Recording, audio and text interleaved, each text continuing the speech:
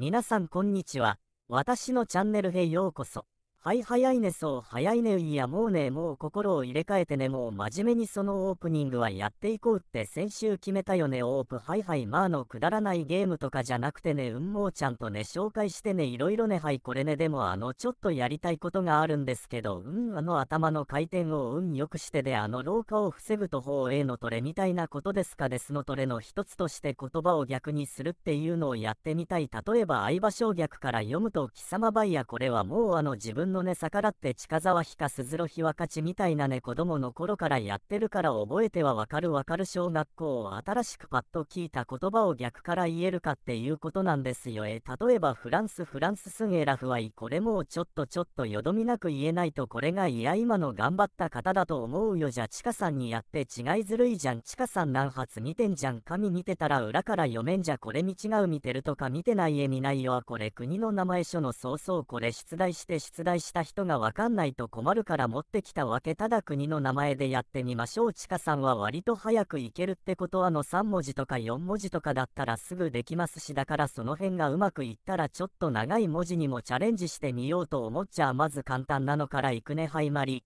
笑い。今簡単すぎる簡すぎるこれいいいいと思うこれあの最初はねだんだんハードルを上げていくそうだよね最初はいいよねはいちょっと待ってね続いていくよチリリチよいいねいいよまず最初だからね最初だから最初だからだんだん難しくなるからねいくよじゃあ次々もうちょい難しくしていいうんドイツ水道をいいねいいねをいいじゃんはい父はいいよもうちょい難しくしちゃっていいいいよラオス人民共和国ちょっと待って人民共和国スオラ国だから猫だから区から始まってってないそれもやるんだ。いきなりやるんだ。そちょはごめん。難しすぎた。ちょっとちょっと編集しよう。これこれもうちょっと先にしよう。は本当難しすぎた。えじゃあオランダだらえ違うだんだを合ってるごめん合ってた。結構得意だね近川さんこれ結構いけると思うよ。もうちょいじゃ難しいのやっていいはいやこれかな。サウジ。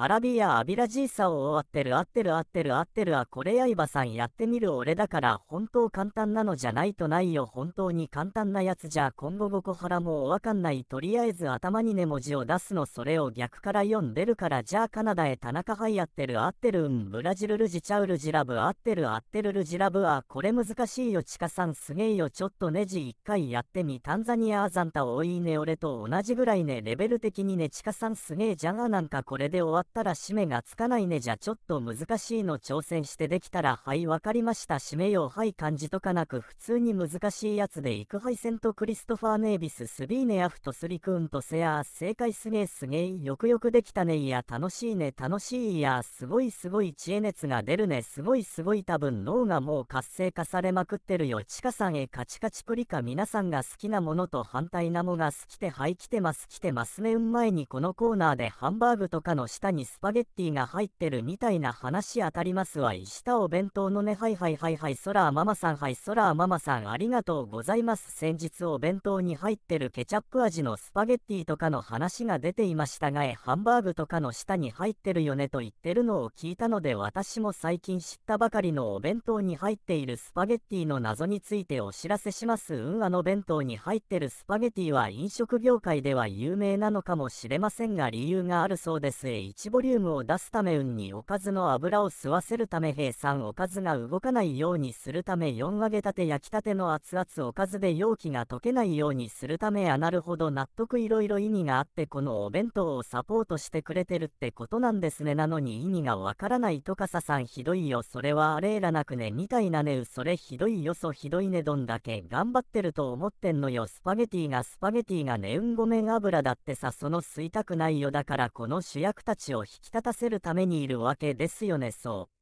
主役だけならともかく容器が溶けないようにって容器のことまで考えてくれてんだからなど大事な割るようになっているそうですなので特に味がついてないスパゲティが入ってることも多くはいおかずなのか何なのか判断に迷ってしまうのだと思います。そんな影の立役者であるお弁当のスパゲティの話を知ったからには残さずに食べてあげなければという謎の使命感に駆られてしまいますと確かに空はママさん確かに確かにうんね味ついてないのあるあるつってってねあ私が食べるまでいろいろやってくれてありがとうありがとうってここまでお弁当に入ってるスパゲティが好きになったでしょ。みんなそうだねそれだけ集めて食べたいよね。ちかさんお皿いっぱい集めて食べたいよねあれだけ集めてさよく頑張ったよ夏ロケ弁でみんなね残してたりするん全員集め俺が食うよってってそれでパスタ12枚ぐらいにしてねしてねブヨブヨでいいやブヨブヨパスタ俺でも好きなんすよブヨブヨパスタナポリタンが好きだからそうはいブヨブヨナポリタン好きだからねうんじゃそんなブヨブヨパスタ好きもメールをお待ちしております。うんはい続いて参りましょう。続いて埼玉県のピーナッツピーナッツさんありがとうございます。えピーナッツのナッツの間の小さい図が2つあるんですけどこれどう発音すんですかね？ピーナッツピーナピーナッツうん。ピーナッツさんさんからいただきました。ありがとうございます。はい相葉口かさんねさん。ここは数派なのかはわからないのですが私は時間が経った味噌汁に入っているブヨブヨになったわかめや固くボコボコした豆腐などが好きです。固くボコボコは時間水分みたいなのが抜けてちょっと豆腐がボソボソっていうか固めになるんですね。はいはいはいはいは家しかもははもう水分吸ってブヨブヨになるブヨブヨは好きやわかる。他にも野菜は基本しなしなしているものが好きですしわかるな水分を含みまくったブヨブヨうどんも大好きです。がおいおいおい一緒だ。寄せてきたな一緒だ。一緒これって少数派なのでしょうか。まあ少数派は少数派かもしれないですね。けど全部共感しちゃった。今今えじゃああの鍋に最後締めでうどんとか入れるじゃないですか。なおかつ鍋がちょっと残って夕べの鍋が残ってるみたの時にもう本当に膨らんだうどんが残ってたりしますけどああいうの大丈夫ってことめちゃくちゃテンション上がるめちゃくちゃ嬉しいよ。あそうですか。いやーうんそう。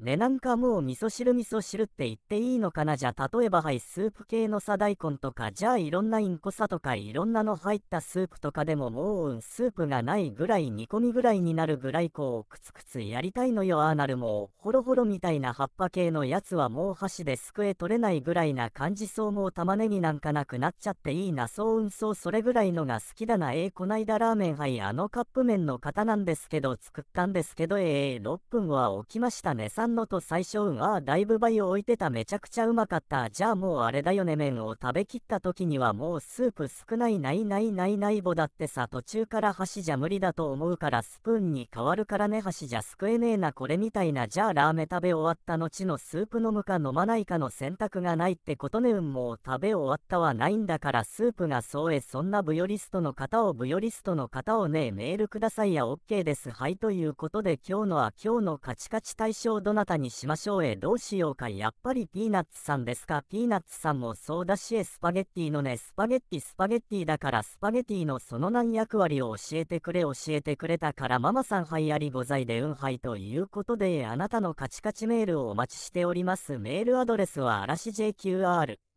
件名には必ずコーナー名を書いてください。以上カチカチプリンでした。俺がいいって言うまで寝ちゃダメだよ。嵐層のレコメン嵐リミックス教えて。拍手。音楽。ちゃん皆さんからいただいた質問にお答えしていきましょう。きましょう。大阪府50代とえさんとえさん。ありがとうございます。いつもお耳のご褒美。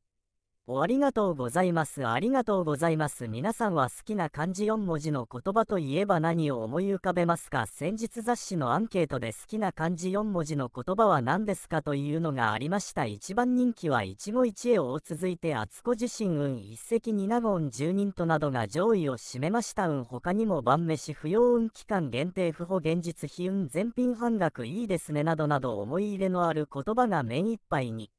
紹介される中なんと私の選んだ言葉が鳥をしかも他のどれよりも大きな文字で紹介されました私の好きな漢字4文字の言葉は迷わずこれ一択です。相場所をびっくりマークへ後ろにびっくりマークをつけて書いたところ力強いびっくりにへ編集部一度拍手あたの愛情伝わりましたよと方の言葉も抱きました A これんです。彼雑誌に載ったらしいです。雑誌のアンケートでこういうのがあってそのアンケート結果を雑誌にまた掲載した時にこのともさんのこれが採用されてね嬉しいね。そうですか。相場嬉しいじゃん。4文字か4文字だもんね。えうね要するに151みたいな昔からある4熟語だけじゃなくん品半額とかそういうのでもいいってことですね。なるほど。ねだったら何ですか。ちだったらんですか。だったらなんだうなんだろうね。入場無料入場無料入場無料ラッキーだよね。いいですね。嬉しいね。ねちは僕は電光石火が好きです。がかっこいいね。かっこいいじゃないですか。俺入場無料ってバカみたいいじゃないですか。いやいやいやえー、後果て相葉さんは何ですか？うん焼肉弁当焼肉弁当テンション上がるよね。いいね。うんはマジか。今日焼肉弁当なのみたいな。うんはそういえばこないだね。あの相撲僕が X ツイッターでうんうんすごいもう相撲面白かったんですよ。初場所を見ててこの赤が大関になった。はいはいはいはいそれで終わっちゃったらロスだつって書いたらアバロスかと思いましたって言って相撲が相場に見えるっていうのがあっていう反応があったんでパトミネそうやそうですか。じゃあそういう皆さんは相模大野が相場大野に見えるんですねって言ったらもちろんですみたいな反応があってへえ相模大野相模大野って小田急線の相模原の方にあるんですよ。へえ相模大野はいへえ相模原の地下そうそうそうですそうです。で僕は昔小田急線でおなじみのていうのをちょっと今4文字熟語でねそうするとアバオに見えると見えるんだ。ちょっと相手書いてどういう時差相原のそうは家で相場の愛に変にああこれも系のもと一緒だっけ？相模の神ねえでお変に場ですね草に本当だパッと見合わば大野に見えるかもじゃあ僕の好きな4分語はそう大野でお願いします。あいいんですか？入場無料じゃなくて相模大野竿はなるほどはいはいよがよろしいよ後がよろしいようでもう一行きます。はい北海道の陽子さん横さんありがとうございます。私の住む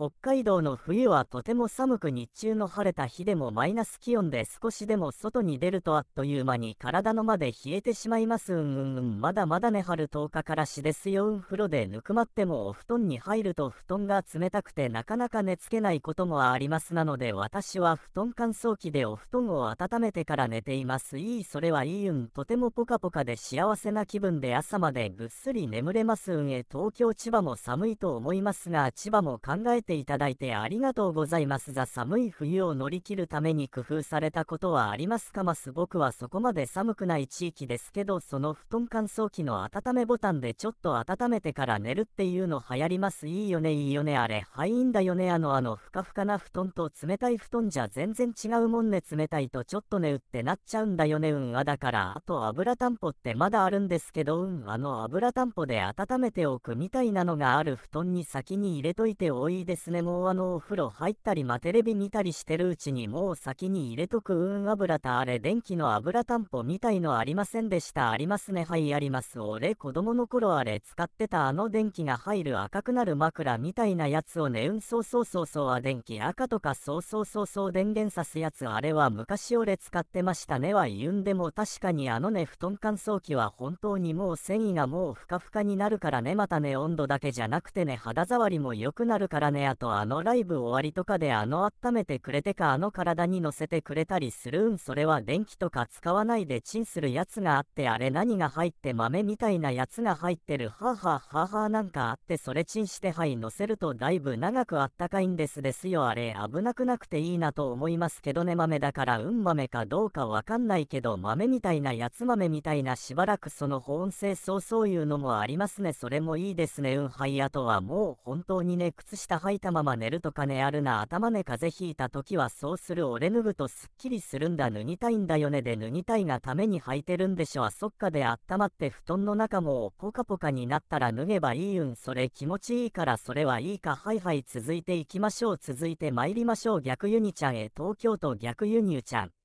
ありがとうございます。私は半年ほど前から B リーグ観戦にハマっています。去年の B リーグで地元沖縄のチームが優勝したことがきっかけで今シーズンから実際に生で試合を見に行くようになりました。うんうんうん。もともと小中高バスケをしていたこともあり、昔はよく試合観戦に行っていたのですが、大人になって改めて行ってみるとまた違う楽しみ方ができてすぐにハマってしまいました。うん。相葉くん最近できた趣味などハマってるものがあれば教えてください A なんだろう。最近ですかまああの最近新しくなくてもいいですけどサイというかえねお仕事の愛にちょっとやってるとか AA 読書漫画とかその辺はやってますか？相変わらずやってますねそそうっすね小説も読んでるし漫画も読むしわいなんか最近漫画あの今までは漫画だったら漫画をとりあえず読破してから次の小説以降とかやってたんですけどなんか最近はもう4つぐらいスタートしてますね。自分の中で並行して並行してこの小説説この小説この漫画この漫画みたいなうんうんそれができるようになってきた方今までなんかうん忘れちゃうからはい話忘れちゃってなんだっけつって戻んのがめどくさいからもうそれしか読まなかったんですけどうんいや結構いけんなと思ってあじゃああのま4本ぐらいのドラマを毎週見てるようなことですね。つまり少しずつそれぞれのストーリーは並行して進行してるわけだもんね。そうそう考えるといけるよねかもね。うん4本ぐらいだって全然普通にいけるじゃん。そうだね。そのストーリー似たりするし間が開かなければ戻れるよね。まあ開いちゃうとなかなかね間開いちゃうとそうなんだよね。だからそろそろまたあの漫画の山があーえっとえ近沢図書館の方にはい起こされると思いますけど。まあ近沢図書館相場文庫ですからね。そう文庫へそうですね。はい進めなければはいということでここでリクエスト曲をご紹介します。え新潟県のラジオネームミカさんからいただきましてありがとうございます。ラジオしちゃんとはちゃんの回楽しく聞かせていただきました。ありがとうございます。その時に話題エンディングの時間になってしまいましたけどもはいさんどうですか？今日は神奈川県のきみさんはい最近ますます相葉くんの声が大好きになってイヤホンで集中して聞いているのですが嬉しいなさんの声がでかいのですぐそちらに引っ張られてしまいますの声を拾うかさんとの戦いに必死です。どうしたらちかさんの声をやっつけること？